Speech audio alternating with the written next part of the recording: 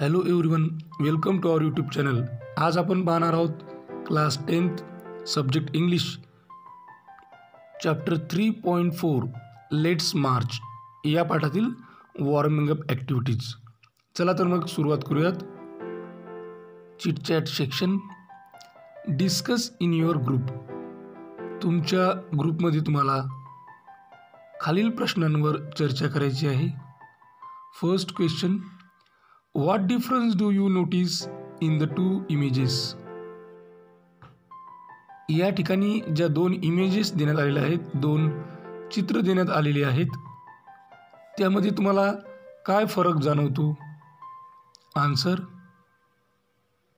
while observing the given images in the first picture the boy is working and in second picture the boy is going to school बघा या दोन्ही इमेजेसकडं काळजीपूर्वक पाहिल्यानंतर आपल्या असं लक्षात येते. पहिल्या चित्रातील मुलगा हा विटा उचलत आहे म्हणजे काम करत आहे. आणि दुसऱ्या चित्रातील मुलगा हा सायकलवर शाळेत जात आहे. Second question which of the two situations should change की ह्या दोन सिच्युएशनमधील या दोन परिस्थितीमधील कोणती परिस्थिती बदलली पाहिजे? Answer out of the two situations first should change की या दोन सिच्युएशनमधली पहिली जी सिच्युएशन आहे ज्या ठिकाणी मुलगा काम करत आहे ती सिच्युएशन बदलली पाहिजे. Third question how and when can the situation change कशी आणि केव्हा ही सिच्युएशन बदलल्या जाऊ शकते? Answer The boy in the first picture should be sent to school. somebody should convince his parents that it is not his right age to work. He should go to school at this age. Then the situation can change. कशी बदलता येईल ही परिस्थिती पहिल्या सिच्युएशनमध्ये जो मुलगा काम करत आहे त्याला आपण शाळेत पाठवलं पाहिजे कुणीतरी त्याच्या आईवडिलांना कन्व्हिन्स केलं पाहिजे की हे जे वय आहे ते वय शिकण्याचं आहे काम करण्याचं नाही. या वयात तो शाळेत गेला पाहिजे. आणि असं केल्यानंतरच ही सिच्युएशन चेंज होऊ शकते. Fourth question how can you as a student contribute and help make a difference to the needy children की एक विद्यार्थी म्हणून तुम्ही गरजू मुलांमध्ये बदल घडवण्यासाठी कशा प्रकारचं योगदान द्याल? कशा प्रकारे त्यांची मदत कराल? Answer as a student I will help the needy children to go to school and take education if possible I will try to give them monetary help to take education I will also convince their parents to understand the importance of education मी एक विद्यार्थी म्हणून काय करेन? तर मी गरजू विद्यार्थ्यांना शाळेत जाण्यासाठी शिक्षण घेण्यासाठी मदत करेन. जर गरज पडली किंवा शक्य झालं तर मी त्यांना आर्थिक मदतसुद्धा करेन. माझ्या परीनं जेवढी शक्य होईल तेवढी. मी त्या विद्यार्थ्याच्या आईवडिलांना कन्व्हिन्स करण्याचा प्रयत्न करेन. त्यांना शिक्षणाचं महत्त्व समजावून सांगेन. Activity first A a good well organized speech contains the following characteristics and steps एक चांगलं. चांगल्या पद्धतीनं ऑर्गनाईज केलेलं जे काही स्पीच असते त्या स्पीचमध्ये खाली दिलेल्या कॅरेक्टरिस्टिक आणि स्टेप्स असतात. A speech should be well plan तुमच्या भाषणाचं योग्य प्लॅनिंग केलेलं असलं पाहिजे. The language used should be suitable to the audience जी भाषा तुम्ही भाषणासाठी वापरत आहात ती ऑडियन्ससाठी सुटेबल असली पाहिजे.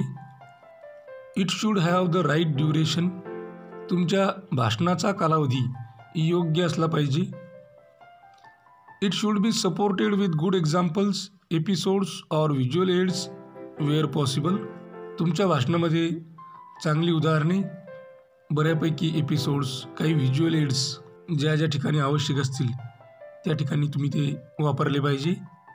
Activity B refer to page twenty six for a reference to the steps to be followed in the speech and do the activity given below speech देत असताना किंवा स्पीच रायटिंग करत असताना ज्या स्टेप्स फॉलो केल्या गेल्या पाहिजे त्या रेफरन्ससाठी तुम्ही पेज नंबर ट्वेंटी सिक्सवर रेफर करा.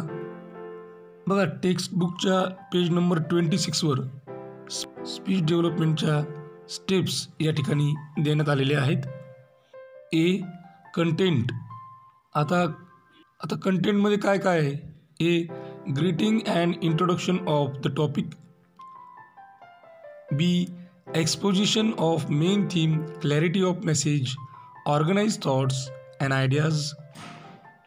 C moral and practical application with examples.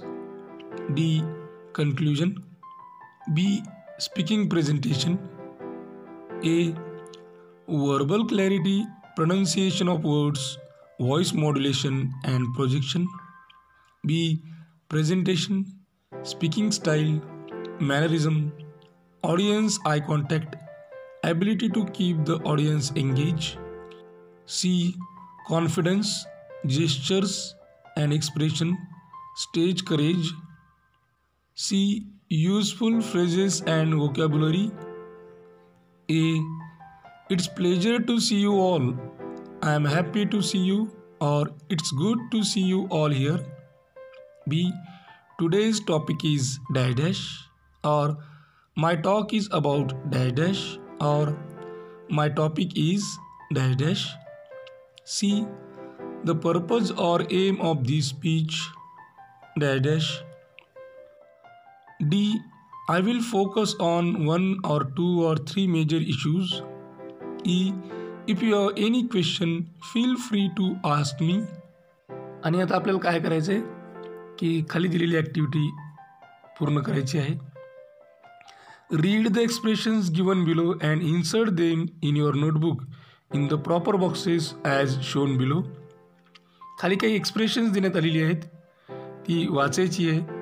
आणि तुमच्या नोटबुकमध्ये खाली ज्या पद्धतीनं तुम्हाला बॉक्सेस दिलेले आहेत त्या बॉक्सेसमध्ये प्रॉपर एक्सप्रेशन इन्सर्ट करायचे आहेत.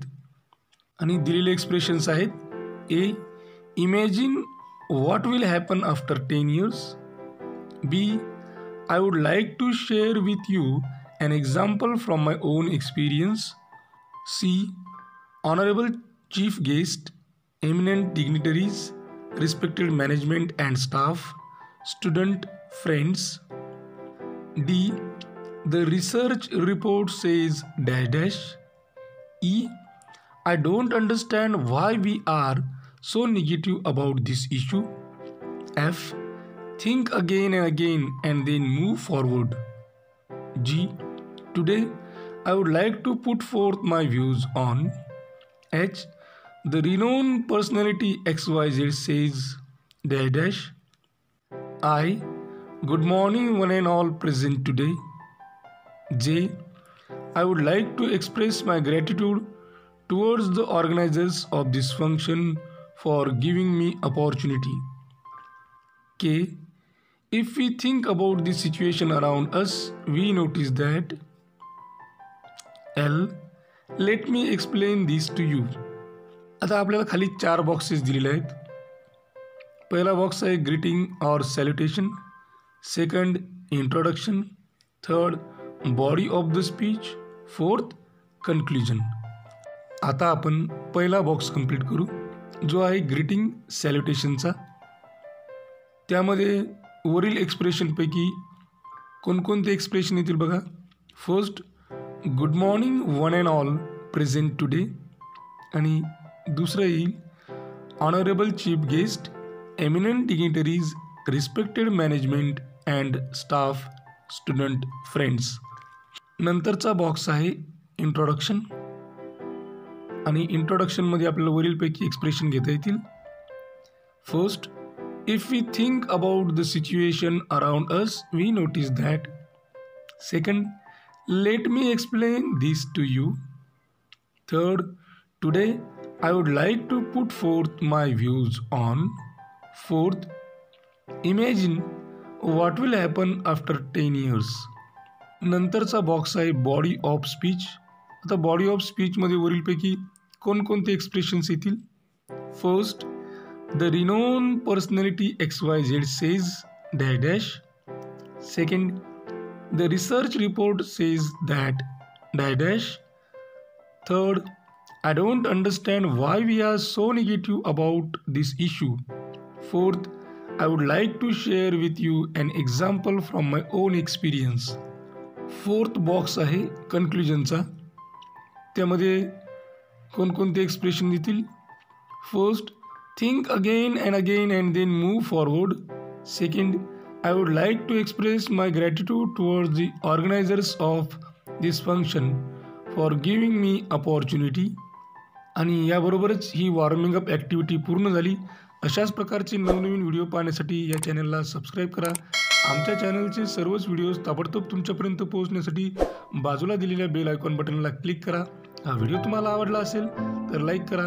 तुमच्या मित्रमैत्रिणींमध्ये गरजू विद्यार्थ्यांमध्ये जास्तीत जास्त प्रमाणात शेअर करा. काही अडचण असेल काही सजेशन असेल काही इन्फॉर्मेशन असेल किंवा रिप्लाय द्यायचा असेल तर कमेंट बॉक्समध्ये कमेंट करा. हा व्हिडिओ अत्यंत काळजीपूर्वक आणि सर्वात महत्त्वाची गोष्ट टिल द एंड शेवटपर्यंत पाहिल्याबद्दल तुम्हा सर्वांचे मनापासून आभार. Thank you thanks a lot